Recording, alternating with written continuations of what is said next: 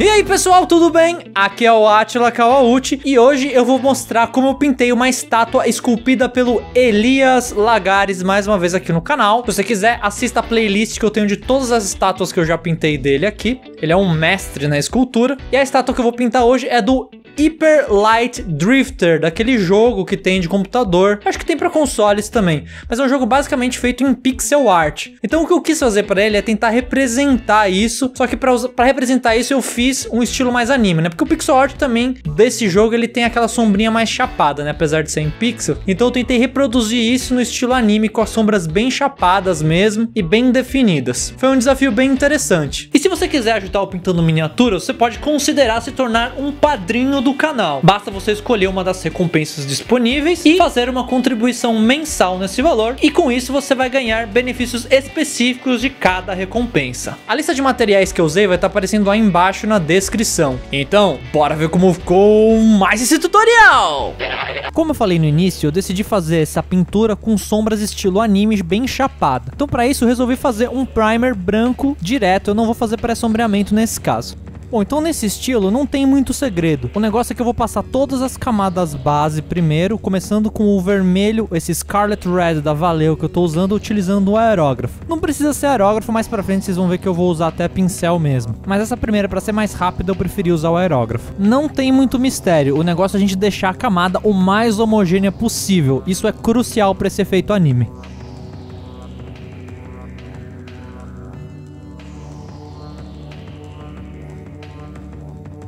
Aqui eu já tô um pouco mais avançado, mas eu tô passando a camada com a cor Necrotite Green da P3. Uma cor que é mais ou menos parecida com essa nacional seria o azul piscina. Não é exatamente igual, mas é bem próxima.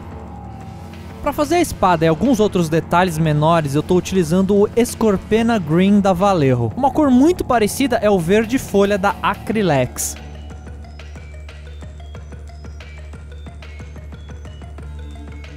Bom, como o negócio é só camada base, eu já passei o Hot Orange na saia no lenço, cinza nos detalhes que serão metálicos e um preto misturado com um pouco de vermelho no capacete e no que seria a pele dele. Vocês estão vendo que essa mistura de preto e vermelho que eu fiz, por ser uma cor muito escura passada de uma cor muito clara que é branco, vai demorar algumas camadas para ele pegar direito. Vocês estão vendo aí que ela não tá exatamente homogênea. Vou precisar de mais duas ou três camadas aí para deixar isso aí bem certinho. Agora nesse take ele já tá com o escuro bem bem homogêneo. Aqui eu decidi misturar o Necrotite Green com um pouco de preto e eu vou começar a desenhar as primeiras sombras.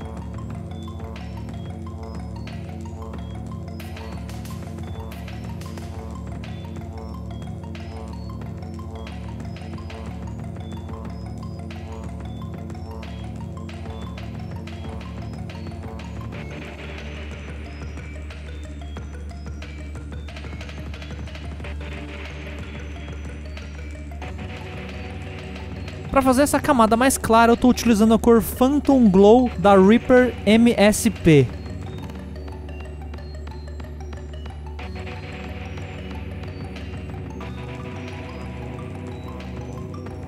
Uma das coisas mais difíceis dessa técnica é justamente a gente deixar a cor o mais sólida possível. Para isso a gente precisa de várias camadas, tanto nas partes escuras quanto nas partes claras.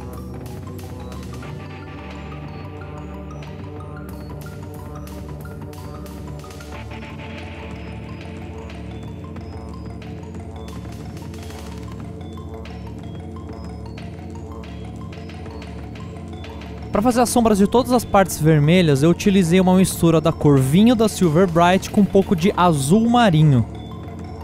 Aqui eu fiz uma mistura de rosa primavera com um pouquinho de vermelho. Interessante que essa cor pegou razoavelmente bem logo de primeira. Então vocês estão vendo que é uma coisa que varia de cor para cor. Pode ser que pegue mais fácil ou pode ser que demore uma ou duas camadas para pegar.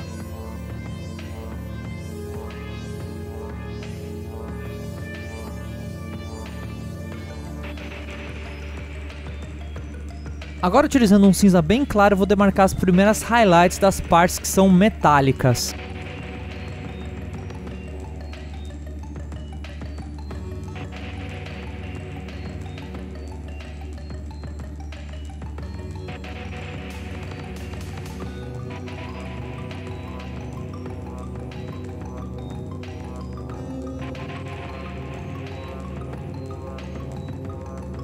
Agora, utilizando o preto, eu vou demarcar as primeiras sombras das partes metálicas. Meio que um não metallic metal, mas com todas as transições chapadas, sem utilizar nenhum tipo de suavização, né? nenhuma técnica de suavização de transição.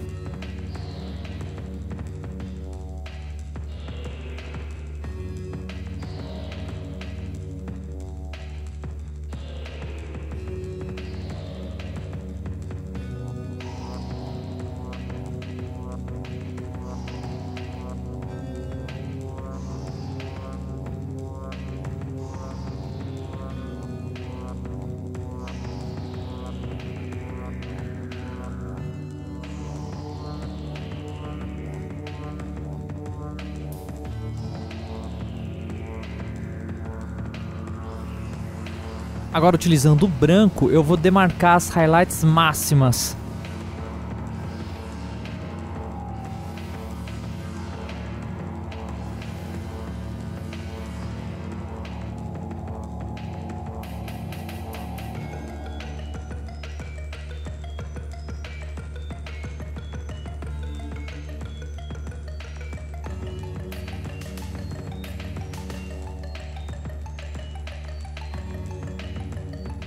Aqui eu fiz uma mistura de branco com Hot Orange da Vallejo. Podia ser o laranja da Acrylex também sem problema nenhum.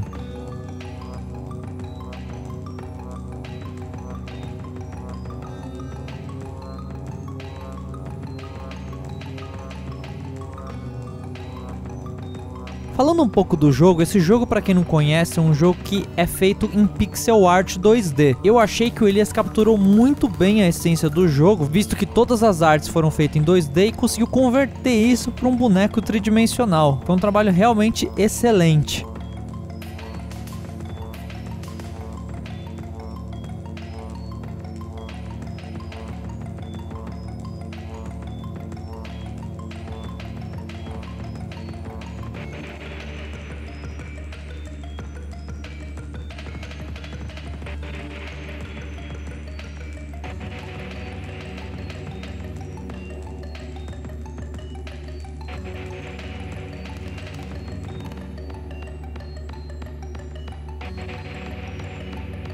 Aqui eu decidi misturar laranja com preto mesmo, porque eu achei que fica mais fiel ao jeito que eles fazem as sombras de anime, que geralmente é meio que isso a mistura, né? Uma mistura bem óbvia assim, de uma cor escura ou preto mesmo. Enfim, eu resolvi testar e eu achei que ficou legal.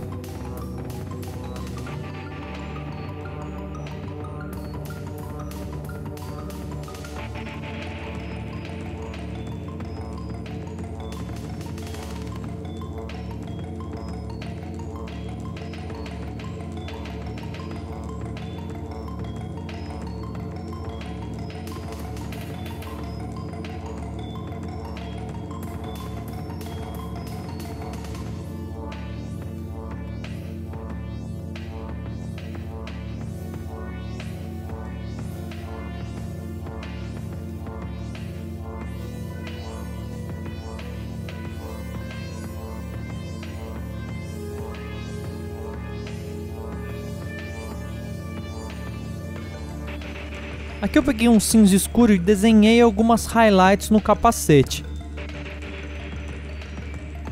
Aí eu fui misturando e clareando um pouco a mistura de cinza e criando novas highlights.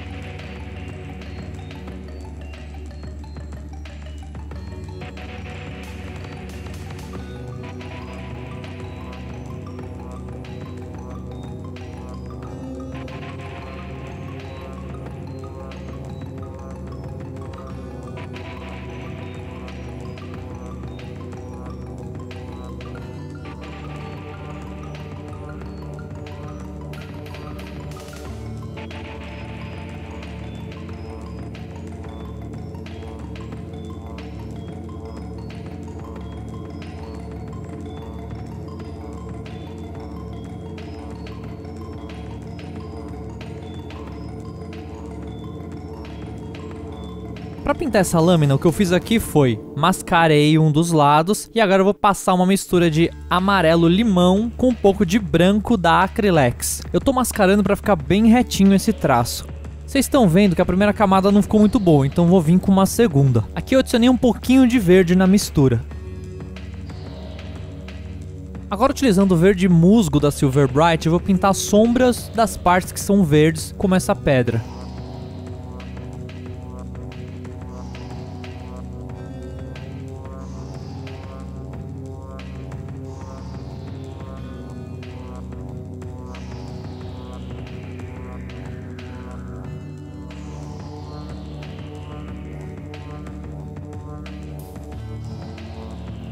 Nesse momento eu achei que a diferença de cores aqui nos highlights da capa vermelha dele estava muito fraco, então eu resolvi dar uma clareada.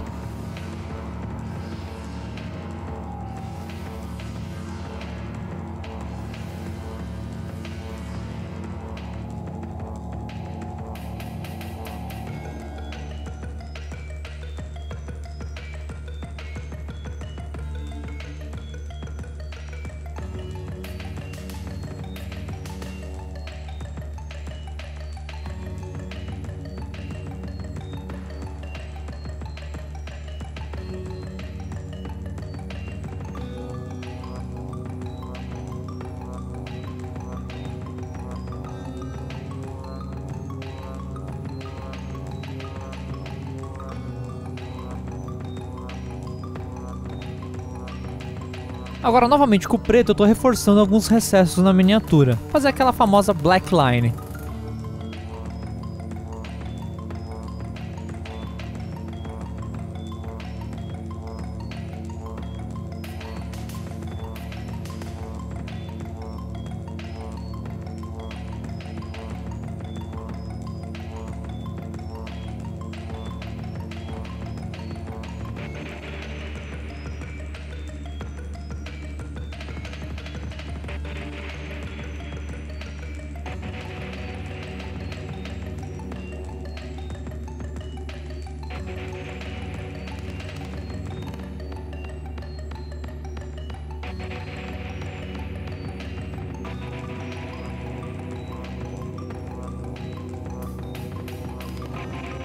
Agora eu vou adicionar pequenos detalhes aleatórios utilizando branco. Não tem realmente uma regra mesmo, é só um lugar que eu acho que ficaria legal ter um brilho branco ali.